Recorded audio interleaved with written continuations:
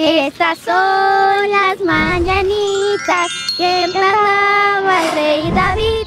A los parques muy bonitos se las cantamos aquí.